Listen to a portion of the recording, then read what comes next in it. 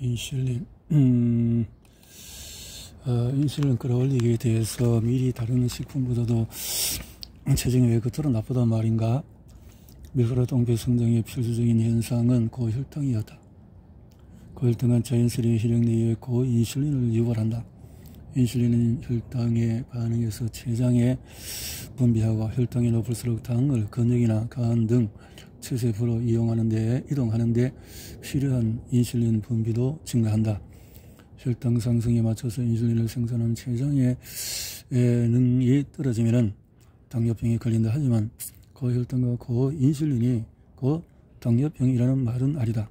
당뇨병 환자가 아니어도 자신의 똥배를 잘 관리하면 음, 시트콤 세인펠트 크레머가 제 정신이 아니라 맨지어 드라마에서 개발한 남성의 가슴 보정형 속옷을 개발한 게 아니다. 에스트로겐 증가, 유방, 암, 남성, 유방 이 모든 것이 사무실에서 나눠 먹는 베이글에서 비롯된 것일지도 모른다. 또 셀리악병은 체중 감소 실험에서 이미 언급했듯이 셀리악병은 밀과 결정적으로 관련이 있는 질병이다. 셀리악병. 어, 남성형 란제리는 2층에 고인되어 있습니다. 란제리 밀가루 똥괴는 단지 외관성의 문제에 그치지 않고 진정 건강의 중요성을 보여주는 현상이다. 염증 호르몬을 생성할 뿐 아니라 내장 지방은 남녀 모두의 에스트로겐 공장이기도 하다. 엉덩이가 풍부짐해지고 유방이 발달하면서 사춘기를 맞이하는 소녀들에게 여성성을 그 에스트로겐 어, 성인 여성은 피해 경기까지 높은 수준의 에스트로겐을 유지한다. 하지만 에스트로겐 수치가 높으면 유방 조직을 자극하므로 어, 셀리악병에 대한 의사들의 관찰 부족으로 이 질병은 증세가 드러난 시점부터 지금까지 평균 10년이 걸린다. 셀리악병의 진단을 받을 때쯤이면은 환자들은 영양급소 기능이 망가져서 심각한 영양 부족에 시달린다. 셀리악병에 걸린 아동, 특히 나이에 비해서 체중이 미달되고 신체 발달이 늦은 아이들의 경우는 치명적이다. 일부 실리악병 환자들은 원인을 밝혀지기 전에 몹시 쇠약한 지경에 이른다. 2010년에 실리악병 환자 369명을 대상으로 실시한 콜롬비아 체질량이 믿기 어려울 정도로 떨어졌다는 거고 전통적인 영양학계의 선입견 음, 글루텐 free 식단에는 파스타, 빵, 피자가 없고 고기, 달걀, 치즈 등 잘못된 자연식품들 그렇다. 실제로 이런 표현을 썼다. 많이 먹기 때문이라면서 말이다. 다시 말해서 연구자들은 의도했던 의도하지 않았던 밀프리 식단으로 식욕을 줄이면서 제대로 된 음식을 먹어 칼로리의 부족 부분을 대체해야 한다는 식이요법의 가치를 입증한 셈이다. 밀가루 똥배를 빼라. 14일에서 5kg 텔레비전 상업 광고에서 자랑하는 빠르게 살을 빼는 어, 최신 상품처럼 들릴지도 모르겠다. 하지만 나는 수도 없이 목격했다. 다양한 형태의 밀을 제거하면 살이 빠진다는 사실 말이다. 밀 제거는 신속하면서도 근본적인 체중 감량 전략으로 매우 저평가되었으며 특히 내장 지방 제거 측면에서 그렇다. 음, 이렇게 비슷 하지만 글루텐 free 음식은 밀가루 대신 옥수수, 쌀, 감자, 타피오카, 녹말로 만들어졌을 뿐이다. 이런 음식은 10에서 15kg 이상 감량을 한 사람들에게 특히 해롭다. 어, 또 하지만 또 기억한 것은 옥수수, 쌀, 감자, 사파, 오카, 녹말은 심지어 밀보다도 혈당을 높이 끌어올리는 몇 안 되는 식품들이라는 점을 말이다. 셀약병과 밀 섭취 사이의 관계는 1954년 네덜란드의 소아과 의사 디커가 체험 제기했다. 어머니가 아들에게 빵을 먹이지 않았더니 아이의 발진이 개선된 것이다. 이것을 보고 그는 의구심이 들었다. 2차 세계대전 끝날 무렵에 식량은 부족하고 빵이 희귀했다. 디커는 이 시기에 스웨덴의 구호 비행기가 네덜란드에 빵을 떨어뜨렸을 때 악화된 경험만 제외하고 아동들의 셀리악병 증상이 호전되는 것을 관찰했다. 항체별로 살펴보기 여기서 소개하는 세 그룹의 항체 혈액 검사는 오늘도 실내역병 진단에 강금하게 활용이 된다. 재선 글루텐 면역 반응 여부를 확실하게 진단한다. 항 글리아딘 항체 생존 기간이 짧은 IgA 항체와 오래 생존하는 IgA 트랜스 어, 대다수 소화기 내과 의사들은 만성 경련과 설사 같은 의심스러운 증상이 있고 항체 검사 결과 셀리악병 판정이 나올 경우에 소장 조직 검사를 실시해서 확진해야 한다고 권한다. 셀리악병 전문가들은 대체로 근내막 또는 트랜스 글루타미나제 항체 검사를 시작해서 결과가 양성이면 내장 조직 검사를 받으라고 권한다. 그러나 셀리악병으로 매우 의심되는 증상이 나타나는데도 항체 검사가 어, 음성이면 내장 조직 검사를 고려할 수 있다.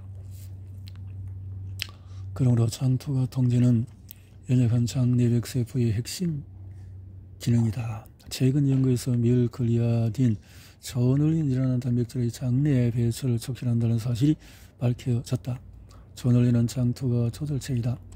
저널린은 장세포 사이에 놓인 정상적이고 안전한 장벽의 튼튼한 접합을 해체하는 특이한 능력이 있다. 클리아딘이 이 저널린 배출을 자극하면 내장의 단단한 접합이 약해지며 글리아딘처럼 유입돼서는 안 될 단백질과 다른 밀단백질 조각들이 혈류로 흘러 들어간다. 음. 저널린 밀은 어떻게 혈류에 침투하느냐? 인슐린 의존형 어, 당뇨병은 인슐린에 의존하는 제1당뇨병에 걸린 아동은 주로 셀리악 항체 표지의 양성 반응을 보일 가능성이 높고 셀리악병에 걸릴 위험은 최고 20회에 달한다.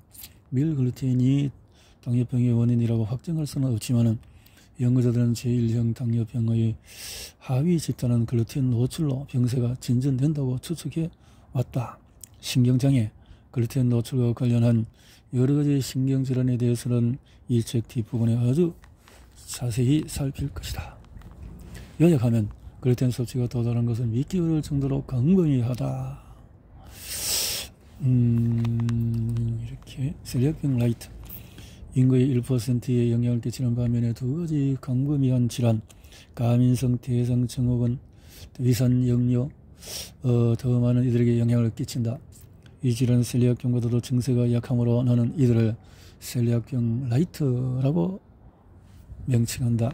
가민성 대장 증후군은 흔한 데 비해서 이해가 어, 부족한 실정이다. 복통, 설사, 묽은 변, 비나 번갈아 나타난다. 대장 증후군 담만 나는 물을 배출하자. 밀과 당뇨병은 매우 밀접하다. 밀의 역사는 그 당뇨병의 역사라고 해도 무리는 아니다. 밀이 있는 곳에 당뇨병에 당뇨병 있는 곳에 밀이 있으니 말이다. 이들 관계는 맥도날드의 햄버거처럼 자연스럽다. 당뇨병의 게으른 부자들만의 전임이 아니라 사회 각계각층의 사람들이 걸리는 병이 되어졌다. 음. 수프본 클럽의 대통령 뉴저지 수프